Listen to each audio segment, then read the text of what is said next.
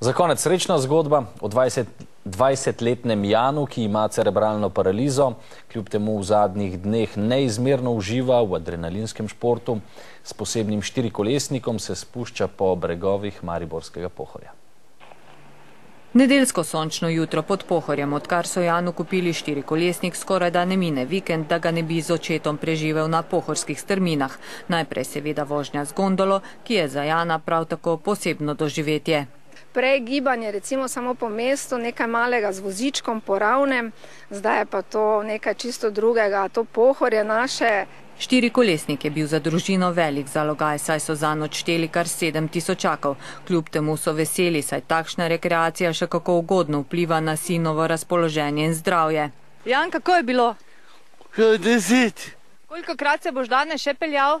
A da, koliko, oj. Jaz mislim, da še na šestkrat šla. Šestkrat. Lahko opazuje naravo in eh, okolico okrog sebe, predvsem uživa, ko smo v gozdu.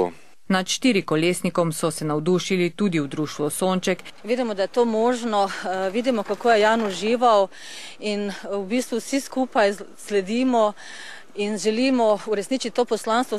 Želijo si, da bi vožnja štirikolesnikom postala del njihovega programa, a pot do nakupa bo še dolga, saj denarja za nimajo. Vse dotlej bodo koristili Janov štirikolesnik, s časoma pa upajo na kakšno pomoč ali donacijo. To je bilo vse, prijeten večer.